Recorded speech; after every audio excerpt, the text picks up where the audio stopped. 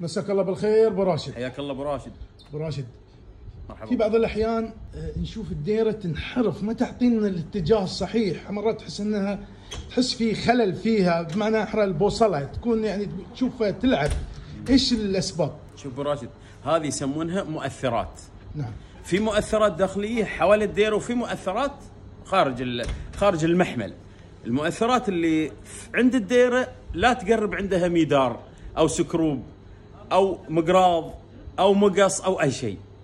المؤثرات الخارجية المؤثرات الخارجية اللي هو الهواء الماء إذا سانه ولا معليه كبر الموي المسافة اللي بتقطعها. فإذا حطيت حديده حوالي البوصلة الديرة خلاص انحرفت عنك. لا تخلي شيء. أو فالبحا- مثلا البحا- أو إيه. شيء مغناطيس أو مغناطيس. البحاحير بغشامة يجيك يحط السكين حواليها. هي تفتر. تنحرف. ما توديك المكان اللي تبيه. هذه هو اللي يسمونها يسمونها مؤثرات على الدير. يعني فعلا ابو راشد الأسبوع اللي طاف حط على التليفون يعني أشوف الاتجاهات تلعب البوصلة. تلعب البصله لا لا تقربها عندها.